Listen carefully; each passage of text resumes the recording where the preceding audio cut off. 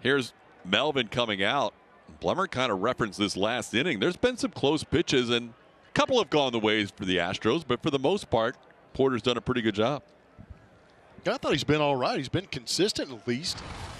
Not sure warranted that action from Bob Melvin, but he's gone, and Mark Kotsay looks like he might be taking over the reins for the Oakland A's. Ball strike ejection. That's what Houston's broadcasters thought happened. Here's what Oakland's broadcasters had. Who was arguing with Alan Porter, and they went at it pretty good, and Bob Melvin was tossed from the game.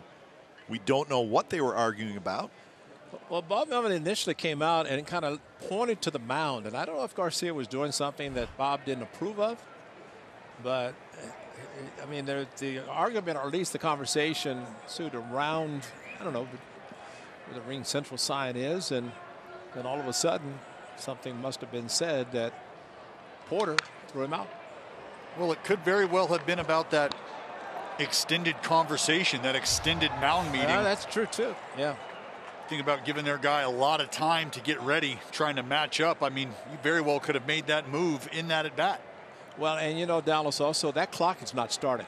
And it's supposed to start at 30 when, when somebody goes to the mound.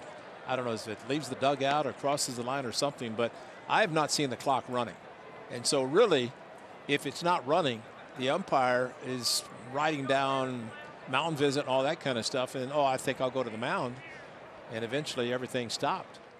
So it could be a number of things. Ball strikes is the easiest to look at, so we looked at all the close ones, and those appear to all be correct. Strike on the inside corner in the count two and two.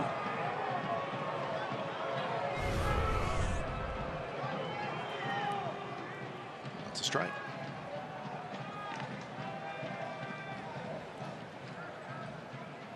Right on the inside corner.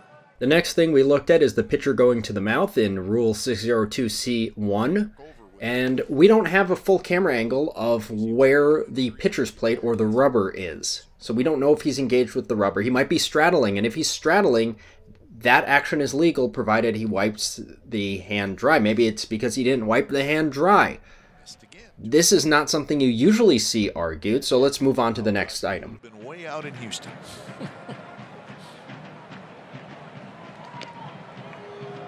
Next up, maybe Bob Melvin doesn't like this pickoff move, says it's illegal disengagement. No, both move at the same time. Both legs move simultaneously. That's a jump turn, a legalized pickoff move for left-handed pitchers in baseball. Strike on the What's inside next? corner in the count two and two. How's the pace of game going right now, guys? Pretty good? Yeah, you know, I was Dallas, just what do you think, Ray?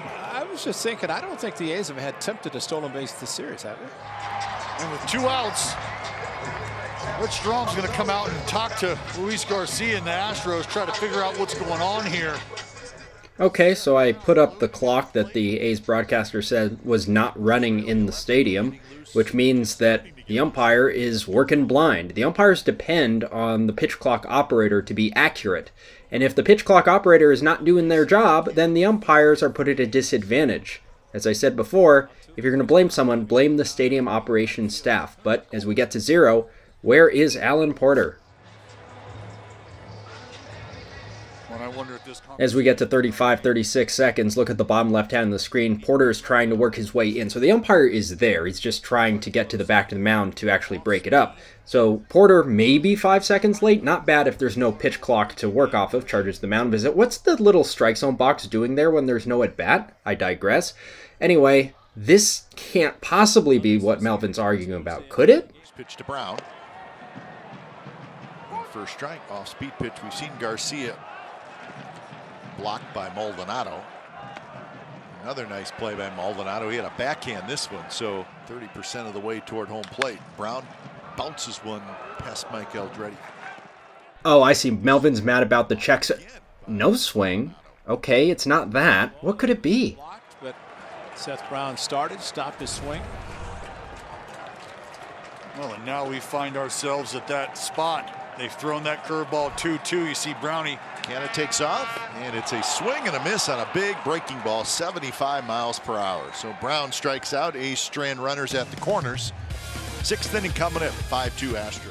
And just to bring it full circle, this once again is what happened when they came back from break. Sixth inning, 5-2 Astros. There was some action in between innings, and it had to do with the A's manager Bob Melvin who was arguing with Alan Porter, and they went at it pretty good, and Bob Melvin was tossed from the game. We don't know what they were arguing about. Well, Bob Melvin initially came out and kind of pointed to the mound, and I don't know if Garcia was doing something that Bob didn't approve of, but I mean, the argument, or at least the conversation, sued around, I don't know, where the RingCentral sign is, and then all of a sudden, something must have been said that Porter. So without really knowing more, this could just be another fire the troops up, I'm tired of losing games ejection for Bob Melvin. Let's see if it works.